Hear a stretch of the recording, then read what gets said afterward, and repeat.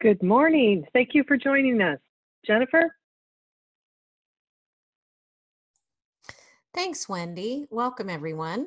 So today we will be talking about writing on your screen options, and you'll be able to access the recording and the PowerPoint slides for this at http backslash backslash tiny.cc backslash AIA dash writing.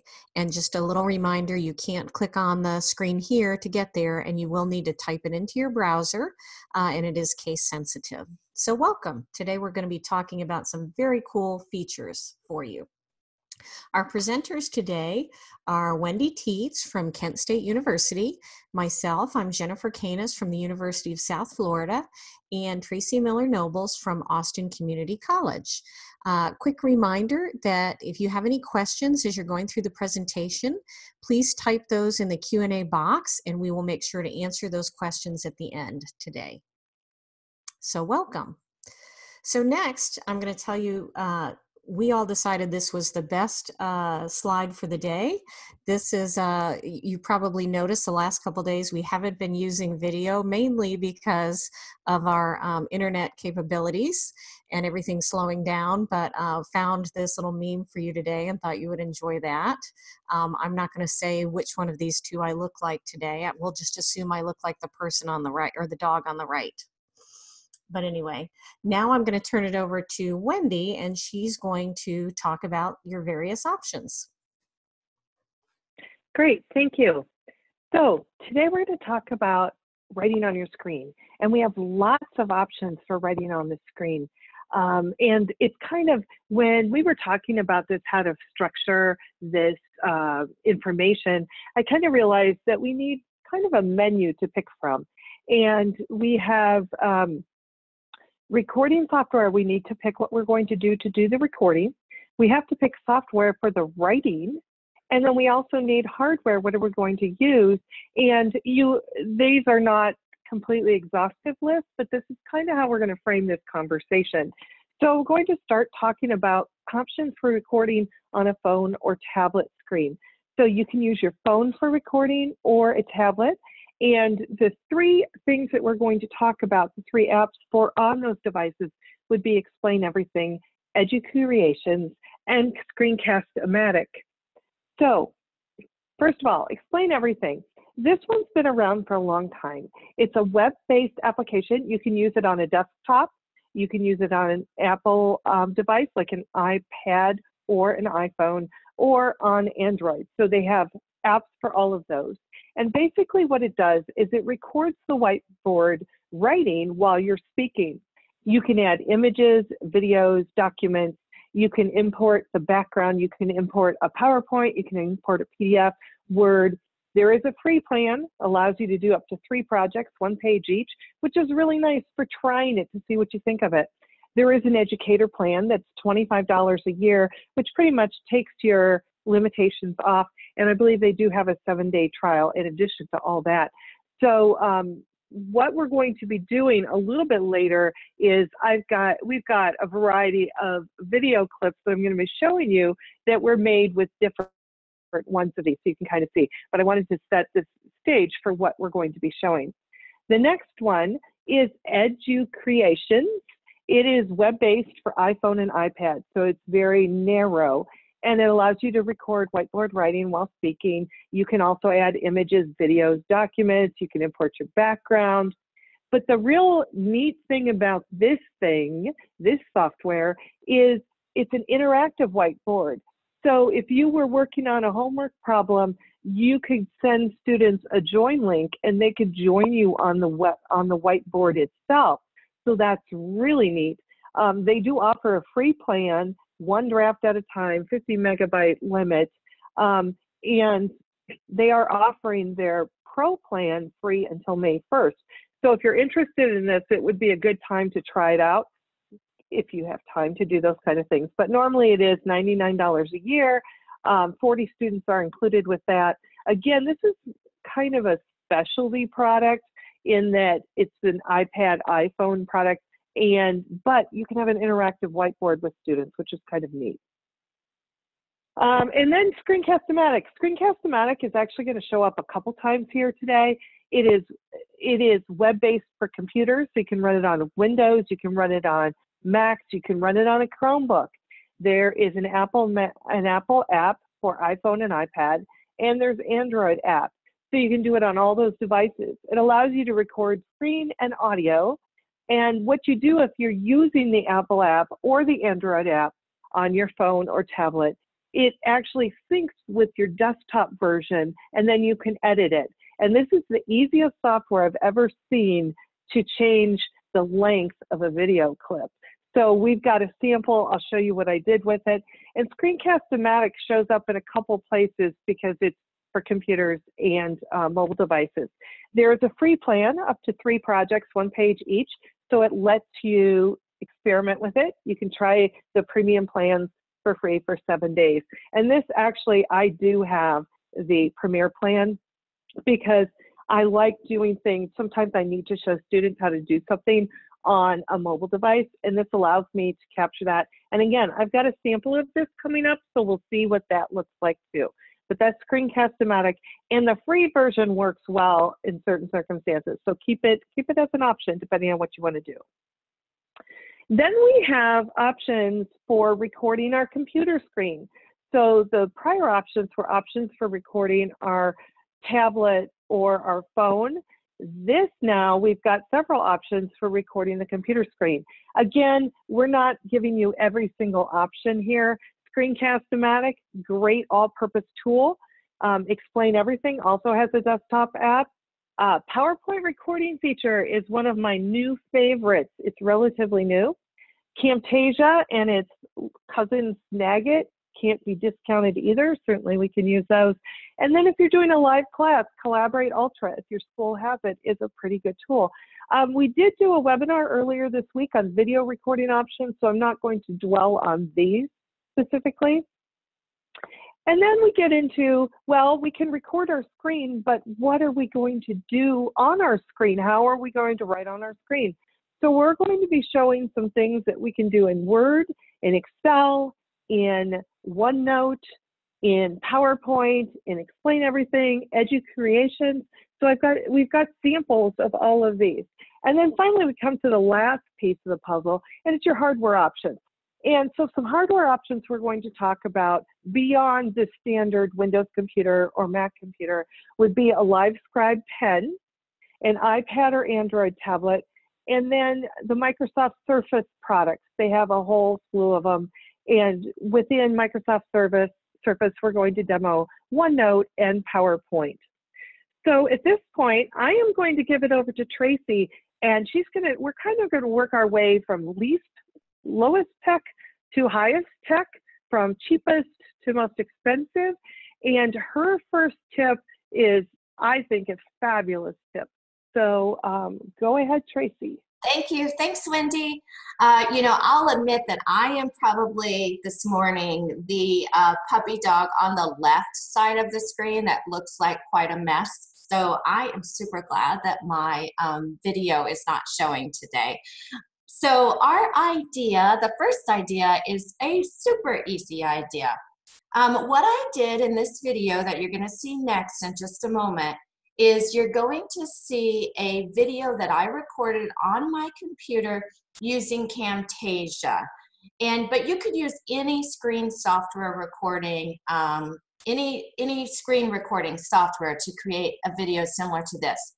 All I did was I took the solutions manual um, problem that I wanted to work and I pasted the solution into Word and then I changed all the text to white. And then I walked through the problem um, with audio. And as I was working through the problem, I simply changed the font color from white to black. So it is interactive, it's going, it's moving as I'm going through the video. So Wendy, let's go to the next screen. Let's see a demonstration of this video. So you can see here what I'm doing is I'm just simply saying, okay, here's the formula that we're gonna use for double declining balance. Then I provide the students with the worked out formula. And so I'm saying we've got $40 million here. Our accumulated depreciation is zero. I need to multiply that by two times one over eight years. So the solution to that is $10 million in year one. So now let's go through and work year two. In year two, our, there's our formula. Now let's put in our numbers. So $40 million less 10,000. Now where did the $10,000 come from? Well, it came from the accumulated depreciation in year one. So you can see that's how I created this video. All I did was I took the solution from the solutions manual and I simply pasted it into a Word document. I changed all the font that I wanted to, all the text that I wanted to reveal as I was going along. I changed that to white. I set my Camtasia to do a screen record of the Word document, and then I just talked through the problem just like I would do in class. And then simply, I would just simply post this video to an unlisted link in YouTube and give that link to my students. Super low tech, easy way to work through problems um, without needing to actually write on anything on your tablet or your computer. So now we're going to go um, to, I believe, we're going to head over to um, Wendy, and she is going to demonstrate enough, another idea. Okay, thanks. So when Tracy was talking about the changing the font color, I thought I do something similar. I use Excel for it. So same idea. Now this next little video clip I'm showing you is I use Screencast-O-Matic on a computer to do this one. So you can see they're all going to be similar. Here, I've, I've got the spreadsheet in Excel already, so I'm just going cell by cell and I'm changing the font. So as I talk, I'm going to be talking to the students, narrating what I'm doing, but it's all there and I can just continue on and that's all there is to it. Um, so the next idea we have is using PowerPoint animation. So again, notice that we're not drawing on our screen yet, but we can quote unquote write on it through these use of different tools and um, the font color. And now I'm going to show PowerPoint. So what I'm going to show right now, I use Snagit to record this little video that's in here.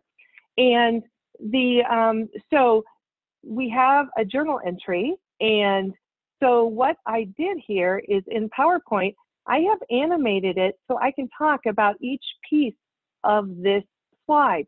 So this way, it's the same as me circling everything and um, and pointing it out, but I'm not actually writing on the screen. So I can get away from having to have having to write on the screen, but I can kind of model that. Another thing I can do is I can actually animate each individual. Um, this one I wanted to do cash first. This is not a mistake. So I was going to do cash first and then put in my dollar amount, and then I'm going to put in my um, repairs expense and the uh, debit, and I can talk through that. And I'm controlling that just by hitting next um, on my pointer device that gets me to that. All of that is done through animation, and each one of these fields, I'm going to I'm going to show you. Okay, so each one of these fields, if I go into animations and I go into um, show my animation pane, I'm going to make it as big you'll see that in that one I just talked about, my repairs expense, for example, is a text box. So these are all text boxes that I have added, and then I animate them just simply by doing appear for each one. The animation pane shows me everything I've done there. So that's what's going on behind the scenes in that using animation in PowerPoint, which is another easy way to get through, um, to get around that idea of how do I write on the screen. I like that. If you have too many numbers on the screen, it gets to be kind of a pain to do all those text, uh, text boxes, but for this size of problem, it works really well. Okay, so next up. So I was trying to think about what if we really want to write? We feel compelled to write. So I thought about what would I use if I all I had was my phone. So if all I had my was my phone, I could do explain everything on my phone. So I'm going to show you an example of a video I did on my phone. I have inserted it, and I do want to say when I show this, it's got black space around it because I was trying to fit it in to a PowerPoint. But if I were sharing it, it would be the screen. So here I had the problem. I uploaded this problem to explain everything.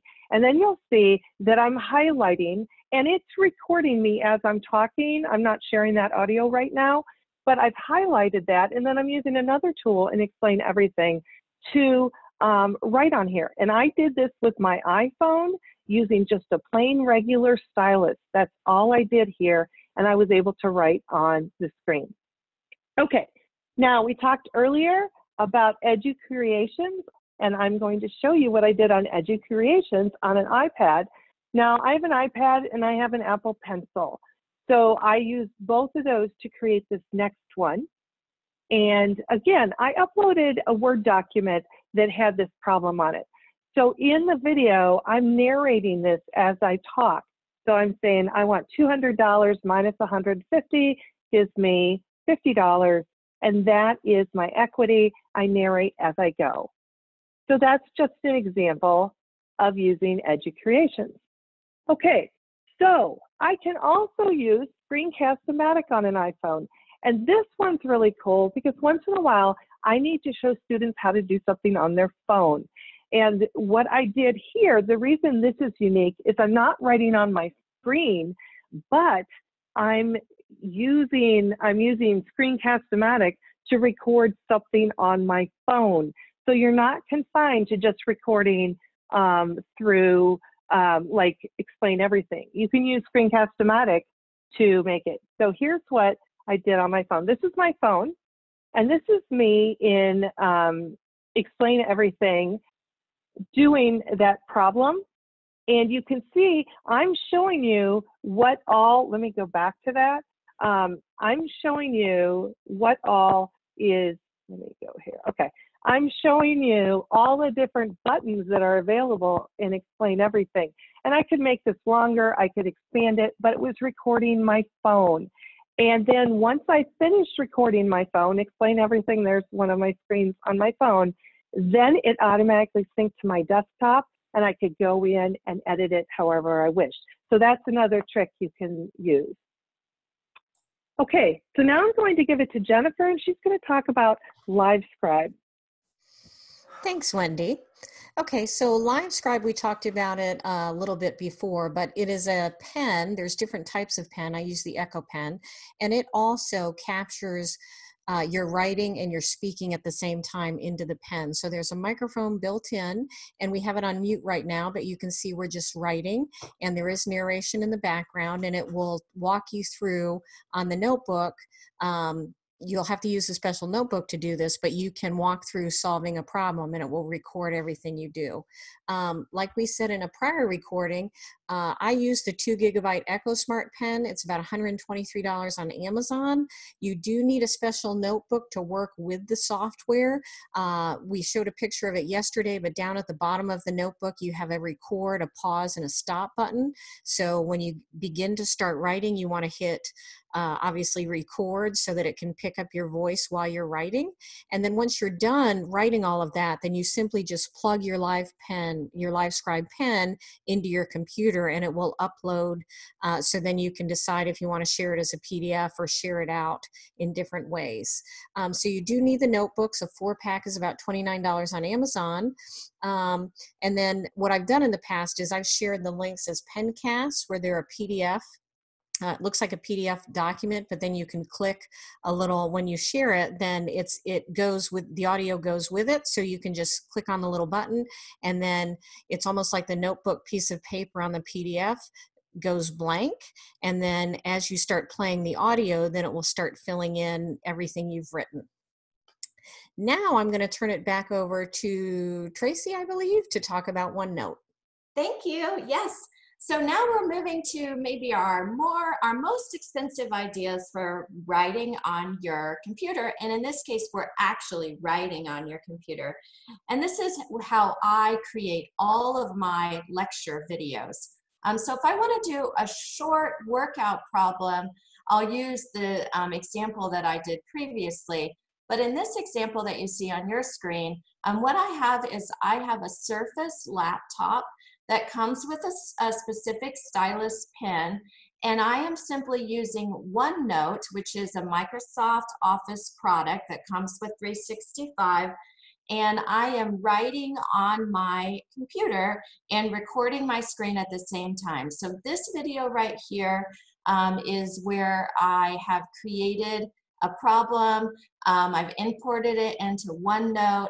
I'm writing on my laptop using my Surface and then I am recording it using a screen recording software. I specifically used Camtasia. Uh, so another great example of if you really want to get that writing experience, but also our most expensive um, option as far as the writing experience goes.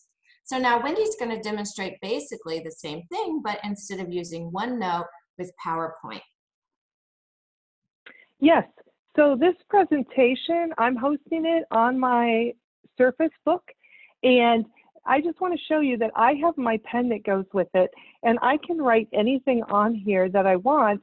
And so I use the Surface Book in class all the time. Um, it's been, it's, I have a Surface Book, as does Tracy, um, which allows me to detach my screen if I wanted to, so I could write more tablet-like. But they do have uh, Microsoft Surface laptops, which don't have the detachable screen, but you can still write on them. And then they have the Surface Pro, which is a little bit lower cost. And those are really good options, but we realize it's not for everyone. But um, I really, really like my Microsoft Surface device. I've had um, two Microsoft Surface devices. I had one of the original ones, and it was nice. But this newest one really has a lot of um, options. And this pen, I can, if I press really hard, I can do harder lighter touch, lighter touch, and you just flip it over and you can erase everything you're doing. So when I do recordings, I'm typically using PowerPoint because I can just write on it. So you can use OneNote, you can use PowerPoint. There's a multitude of things you can do. You can write on PDF, you can do a lot of things, but the Surface Book is what we've been using for all these webinars and I can write on it. Okay, so the thing too about this webinar that we've um, been doing is you notice we had a lot of video clips in our PowerPoint. I did mute the audio so we were narrating it, but those clips did have audio in them. But how I got them into this PowerPoint was through the recording feature in Power in um, PowerPoint. This recording feature allows you just to insert a video right into your PowerPoint. And if you notice, they auto played. I just advanced and the video would start playing and then it would go to the next screen. So that's an option. And if you are interested in that, we had a webinar earlier this week on recording videos that was um, that was um, we talked about how to do that because this recording this recording um, item on the ribbon is not in PowerPoint by default. This is also relatively new. This is different than PowerPoint Record, which is a different feature. It's an older feature. This recording is new.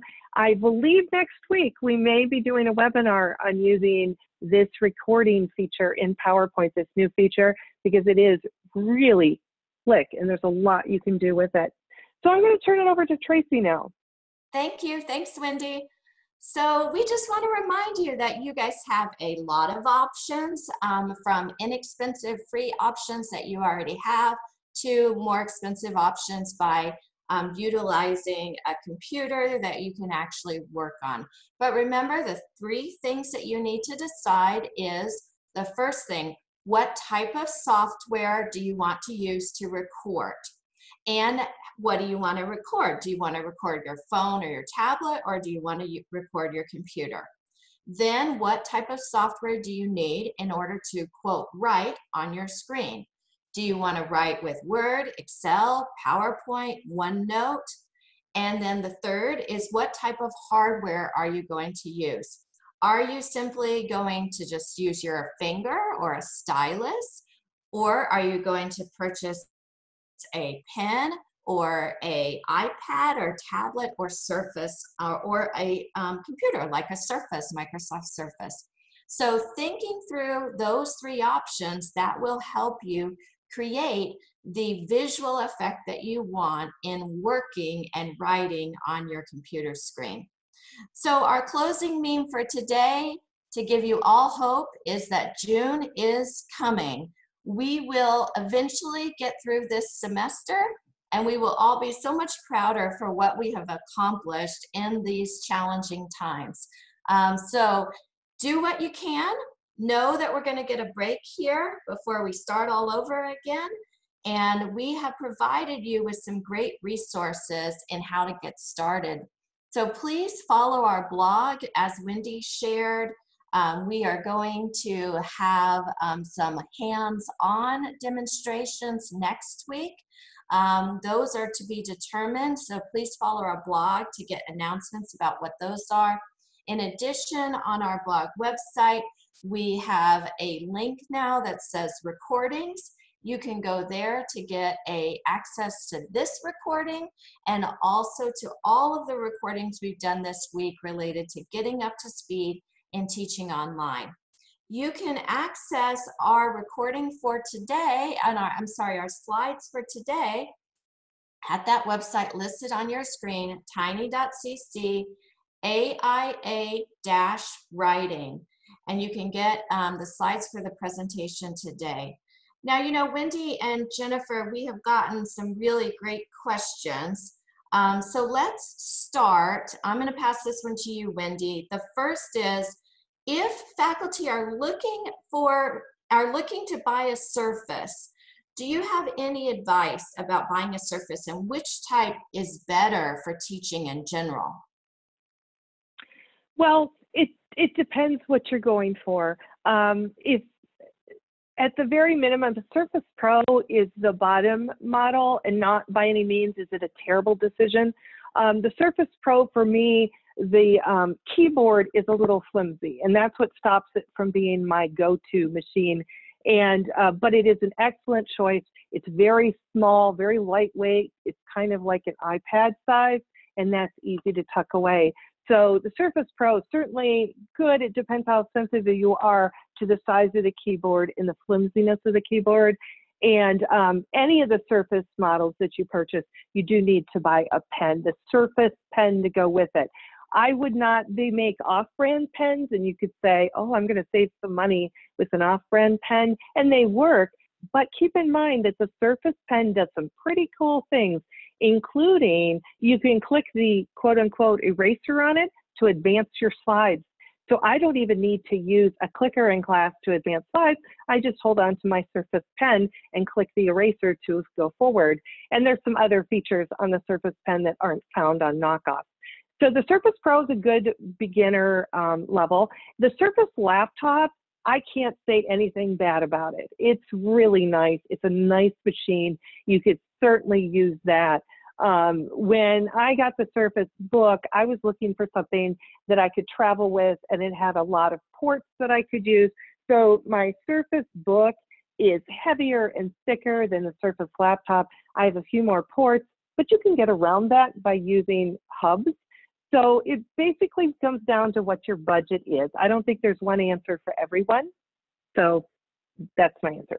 Yeah, absolutely. I agree, Wendy. You know, I think both you and I started off with the Surface Pro, and then I and both of us um, had great results using the Surface Pro, and then we both looked to upgrade to a little more advanced computer, and that's why we chose um, the Surface Book that we're in right now. So, but you can't go wrong, really. Now, you know, Wendy, you mentioned the um, need for a stylus, a pen, and I agree. I use the Microsoft Surface Pen to go with the Surface computer. Um, but, you know, for the writing on the screen options, do you need a device with touchscreen capability? You know, so thinking back about the options that we talked about today, which of those do you absolutely need a device with touchscreen capability? Well, you need, so you're going to be recording your screen. And if you're using your computer and you actually want to write on it physically, you need a touch screen.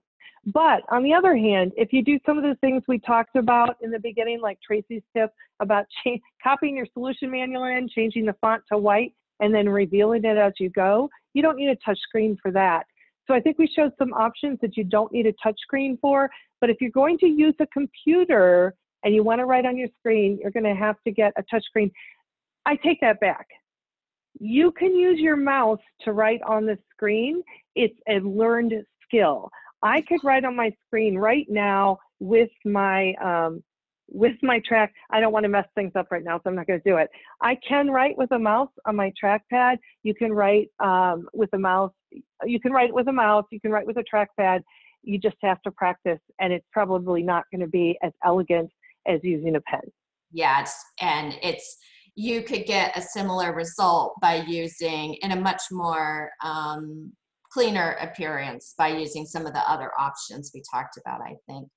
So one of our yeah. questions um, is I had mentioned that when I post my videos, I upload them to YouTube and I post them as unlisted. So this attendee said that they've never posted anything to YouTube before and they wanted to know how do you do that and what's the difference, you know, what is an unlisted um, link? So when you go to YouTube, um, what you want to do first is you want to create a YouTube account. And you simply want to do that because then all your postings go into the same place. And there's a couple of different ways that videos are posted on YouTube. It could be public, and that means that it goes to everybody in the world and it can be searchable. You can um, post a video as unlisted, which is what I do, which means that it's not searchable but if a student or if anyone has the um, URL address, they can access that video. Or you can post it as private, which means that you would actually have to designate who um, would be able to watch that video. So I post all of my videos as unlisted because I want my students to be able to watch them. So I share the URL link with them, but I don't want other people to be able to search for the videos. And the reason why I do that is because it has some proprietary information like um, working out of into chapter problems or maybe solutions to different problems. And I just don't want those to be searchable on, um, on YouTube so that anyone can see those. Tracy, Tracy, I want to add something too that we didn't mention, mention earlier that I think is really important to keep in mind. Um, I think there's some forgiveness because we're in this mad scramble to convert to online, but I think I'd be amiss if I didn't talk about the need to, when you have some time to go back, um, when you post videos, you need to be able to close caption them. Um, and again, we're trying to do we're trying to do a huge amount of things right now to get our classes to help our students. But know that if you were doing this going forward, like summer or fall, when you've had a chance to breathe and think about how you might do it, we need to close caption videos for students. It's part of the ADA. You do not you do not have to have a student who requires the accommodation. The videos have to be closed captioned. That said, I don't think anyone is going to fault you right now if you do this, unless you do have a student who requires captioning. But going forward, you have to caption. And one of the advantages of YouTube is when you upload to YouTube, YouTube will generate some automatic captions. They are not perfect, but they are better than nothing. And then there is a way to go into YouTube and edit your captions. So I think that's a really good plug for using YouTube um, I use a combination of unlisted videos and public videos. It just depends what it is. So that's just what I wanted to interject there, Tracy. Yeah, great. So we have several attendees that are saying that they have different types of laptops besides the Microsoft Surface, and they're asking if they can do something similar to what we do. And the answer is absolutely. Um, so if you have a Dell with a touch screen, then you should be able to get some type of stylus pen that you can use to write on your screen. And I see another attendee is saying that their um, school is looking at purchasing an XP pen tablet from math and accounting and exactly the same. So you, all you need is, if you're gonna wanna write, actually write on your screen, is you need some type of device that allows you to write.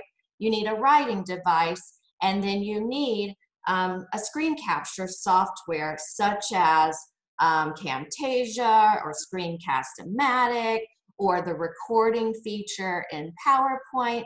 Uh, any of those will work in order for you to be able to write on your screen. So now, um, Wendy, we have another question, and um, you, you know they pointed out that they really like that recording feature, the new recording feature in PowerPoint. Can you remind everyone how you get that recording feature? Well, what you have to do is you have to add it to your ribbon. And the best advice I have for you is to use Google to type Microsoft um, PowerPoint recording add to ribbon. And it has to be kind of specific because it'll want to go back to the original PowerPoint recorder feature, which is still there, but you're looking for PowerPoint recording. And when I send, I'm going to be sending out the video for this. I'm probably going to send it out tomorrow. I'll send out the slides and the video. And I'm going to try really hard to remember to put the link in there for how you add that to your ribbon. But I noticed when I was Googling it to give someone the link that that old recorder feature keeps coming up and that's something completely different. So we're just about out of questions. I think we've got two more questions that we haven't answered. Um, the first one, I am not familiar with either of these softwares, but maybe Jennifer or Wendy, either of you are. Are either of you familiar with Panopto or Cloud App, and are these good softwares to use? Um, I have heard of both, but I do not know enough to speak to them. Yeah, I agree. I, I've heard of both. I've used Panopto in the past, but only just to play with it. So I couldn't really speak to that either. Sorry. Yeah, and that goes to point out that, you know, there's so many options out there. And just because we didn't mention an option does not mean that it's not a great solution. Um, you know, Wendy, Jennifer, and I wanted to only talk about the options that we use and that we're familiar with. Um, so just because we didn't mention Panopto or Cloud Apps certainly doesn't mean that that can't do exactly what we demonstrated. Um, but you know, it it definitely um, could do exactly what we demonstrated.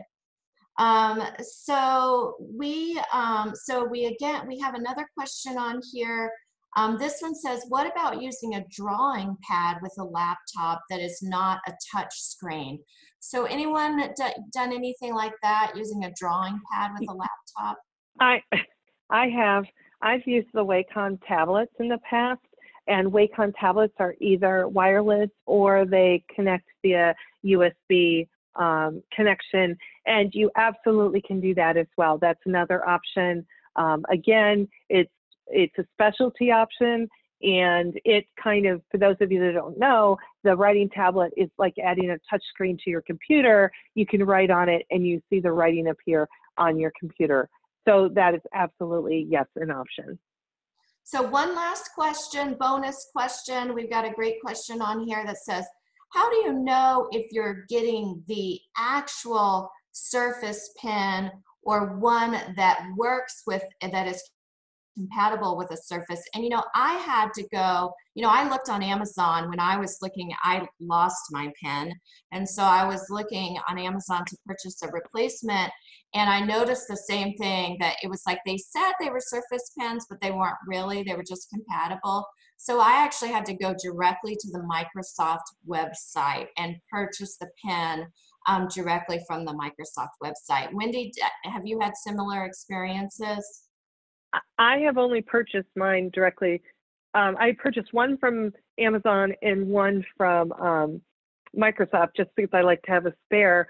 And the cost should give you a good clue because they should cost in the neighborhood of anywhere from 70 to $100. If you see one that's for like 35, it's not what you need. There's also different generations of them. So again, the best advice I have for you is if you have a Surface tablet, if you're buying a Surface uh, machine, go onto the Microsoft website. You can put in your exact model you get the right pen. But I know there's two different, I'm pretty sure there's two different pens. And this um, pen that goes with the Surface Book, it's really cool because it is magnetic. It sits on the side of my screen when I don't need it. And um, yeah, so just kind of kind of watch which one you're getting. It should be cost more than $70, I would guess. Yeah, I agree. Exactly. So thank you guys so much for joining us today. What a robust discussion we've had about options for um, writing on your screen. Hopefully we have given you some things to try out for um, over the weekend and getting started next week. Again, please follow us on our blog, accountingisanalytics.com, as we do some hands-on sessions in the next coming weeks. And don't forget that you can get today's slides at that tiny URL on your screen, tiny.cc AIA-writing. Thank you guys so much for joining us. We hope you guys have a nice weekend. Remember to take some moments for yourself. Don't spend all weekend working. Um, get outside and uh, smell the flowers and in a safe distance from your neighbors. Thanks a lot. Bye. Bye.